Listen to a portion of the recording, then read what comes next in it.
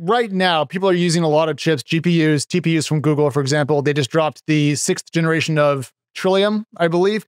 These are flexible, but that comes at a cost. So if you want to boost the math capabilities, you need to be less programmable, but that does also make you more efficient in the process. Right. We're taking a bet. At Etched, our chip is not programmable. It does one thing and one thing only, and that is run transformer inference. But in exchange, it gets much higher throughput and much better time to first token latency. And for folks out there who don't know what that means, essentially, if you're doing inference, it allows you to have the results come back more quickly, as I understand it. You got it.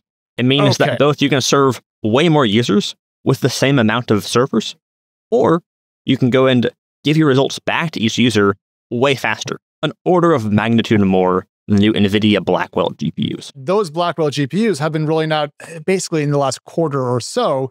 So you're saying that what Etched is building could be an order of magnitude better than not old NVIDIA tech, but what's state of the art right now that people are paying. I mean, I mean, honestly, hundreds of thousands of dollars per unit for. Oh, yeah. Again, it's a trade off. NVIDIA is a great company, and their chip does so many things better than ours do. We can never run ResNet, we can never run physics simulations. What we are good at is running transformer inference. And there, we will outperform by 10x. And this is why I'm calling the company a bet, because if transformers remain the bedrock of most AI models out there, you guys are building a technology that I could see having almost infinite demand.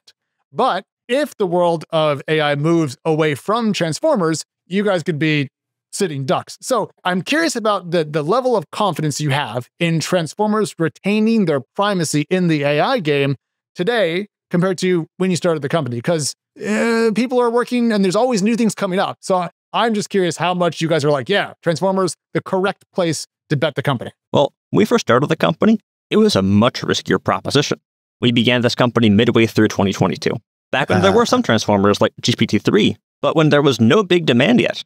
GPT 3 hadn't found a use case. There was no Chat GPT. Mm-hmm. So as a result, you had all the risk, but none of the benefit. So you guys were jumping off, hoping to find a parachute on the way down, and then ChatGPT comes out, and voila, you guys must have felt like absolute geniuses when a transformer-based consumer AI product went from zero to literally the talk of the entire world overnight. Well, it was certainly good for us, don't get me wrong, and helped us raise around a round of seed funding, but there was still a lot of risk. Transformers were one key technology, other things ran differently. Uh, Stable Diffusion, for example, was a U-Net. Maybe that was the Oh. future. Okay. Stable Diffusion 1, 1.5, and 2 were all U-Nets. DALL-E was a U-Net, so we weren't clear what would happen.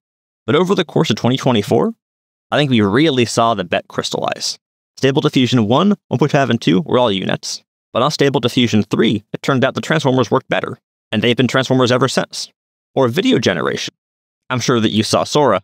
Of course. The breakthrough that Sora had was using a transformer for video generation. That was the secret sauce. They talk about it in the Sora blog post. I missed that.